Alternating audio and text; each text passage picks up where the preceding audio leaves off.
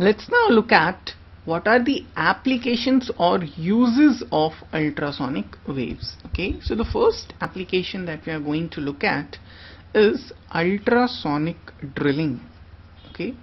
So this is primarily used for brittle materials okay? So materials that shatter very easily.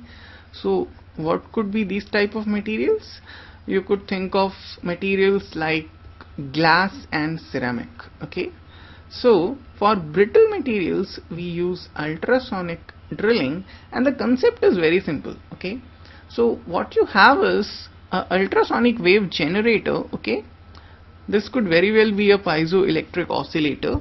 Now this ultrasonic wave generator is connected to a drill bit okay? This could be a fine metallic wire or anything of that sort because of the ultrasonic waves this drill bit is vibrated okay? Now on this drill bit you keep a ceramic or a glass piece.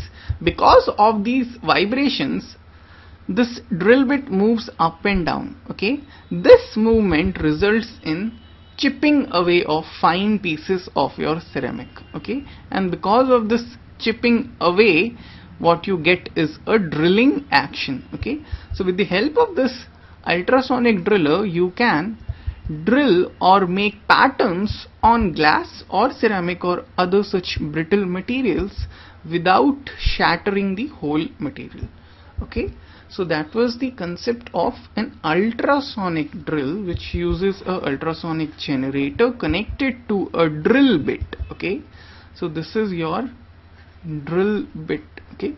So you might have seen drilling machines okay? So the drilling machine is something like this right? And over that you connect a drill bit depending upon what type of hole you want to create okay? If you want to create a bigger hole you attach a wider drill bit. So the same concept is used over here. Instead of this driller what you have is a ultrasonic wave generator which causes vibrations over here because of this this drill bit moves up and down okay? Another important use of ultrasonics is ultrasonic cleaning okay? To understand the concept of ultrasonic cleaning we must first try to understand what is cavitation okay? So whenever you have a fluid or a liquid in general and ultrasonic waves are transmitted through it okay then what happens is there is creation. Whoops. Creation and implosion of bubbles okay? So bubbles are created and they then implode. So these bubbles also known as your vacuum tears okay? So just understand what's happening when ultrasonic waves are transmitted through a fluid, some bubbles are created. So there are two phases in which this happens.